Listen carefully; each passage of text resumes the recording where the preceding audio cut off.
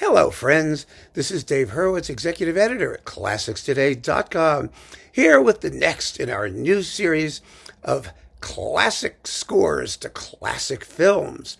And today we're going to be having a listen and a look at Arthur Honegger's Les Miserables from 1934, a very, very early score to a tremendously long and involved film because if you know the story, and I'm not talking about that Eurotrash musical of the same title, I mean the novel, all seven billion pages of it. It's a big, complicated thing.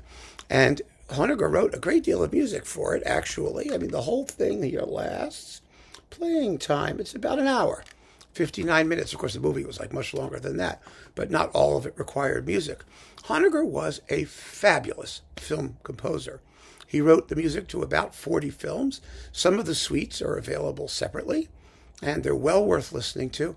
He was a good film composer for a lot of reasons.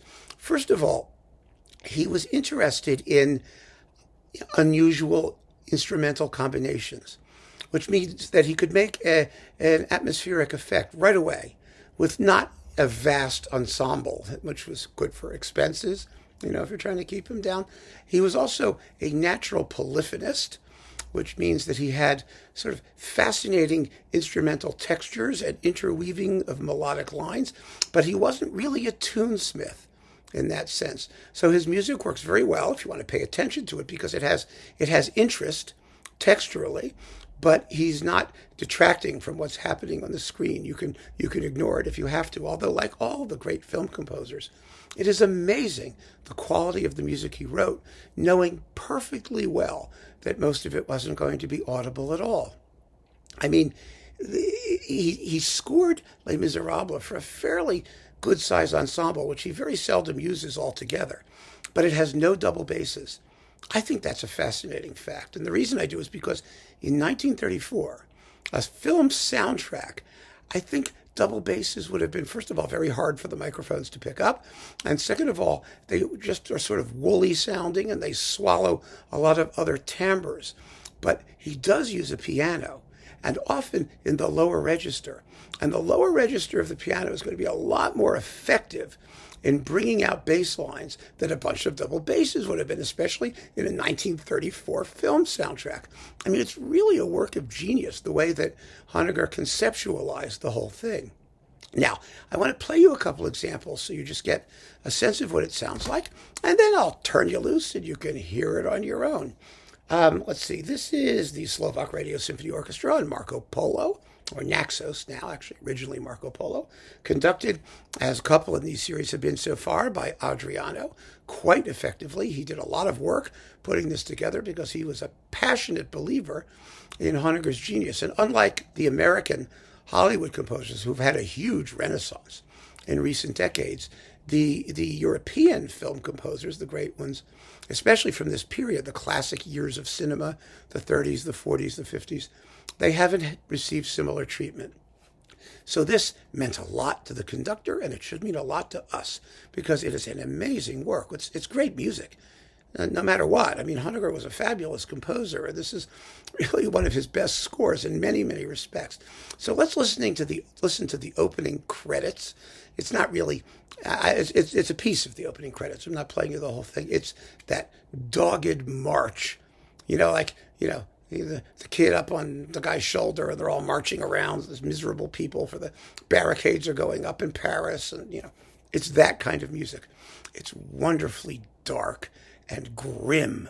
It has that grimy industrial or proto-industrial revolution grimness that's just fantastic. It's populist, but it's never never cheap or tacky because Honegger was too harmonically interesting for that.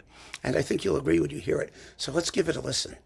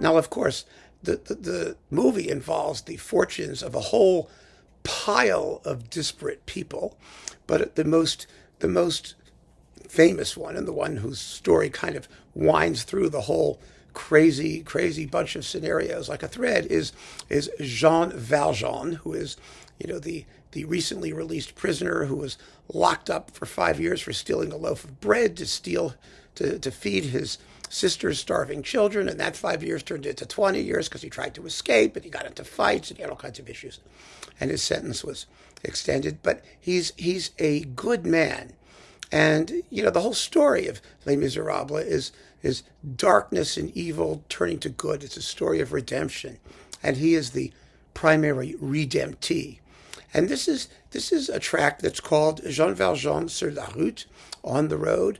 It's the music that introduces us to him.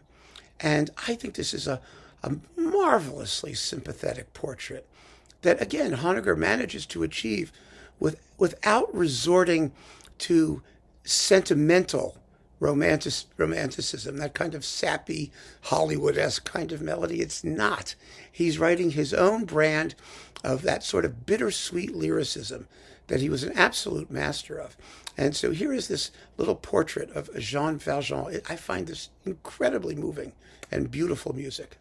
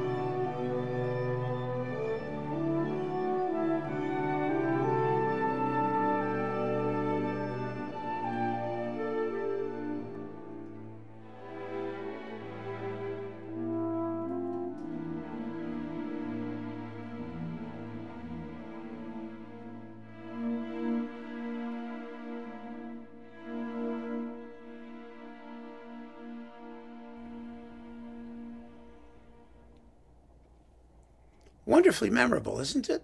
And perfect, I would think, for a film, for, for what it's supposed to do. That was Honegger's particular genius.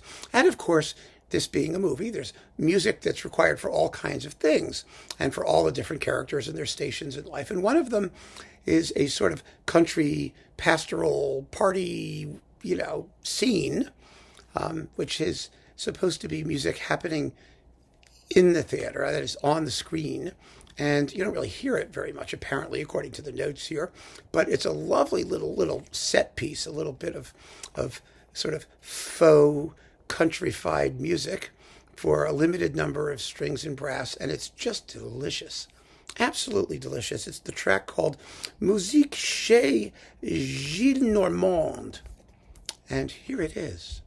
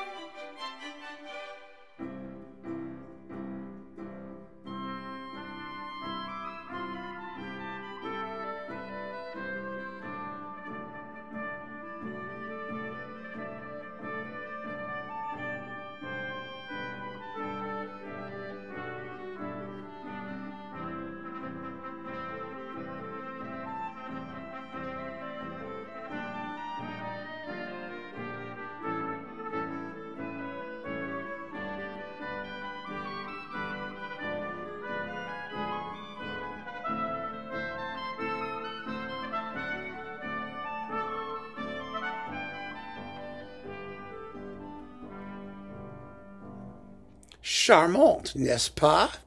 It's just delightful.